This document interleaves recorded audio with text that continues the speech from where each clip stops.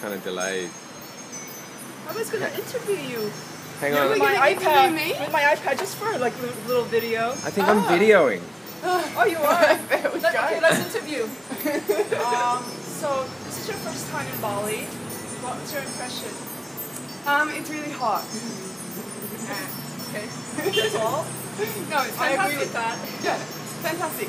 Hot, loud, dirty, but also um, amazingly beautiful and um, inspiring. And your jewelry making? Yeah, it's going really well. Yeah. Close the ring. So you think you'll be back soon? Um, definitely. Yeah, yeah, yeah. Um, I, I aim to do to, to become yeah. I mean, make it a regular thing to escape the winter from Berlin.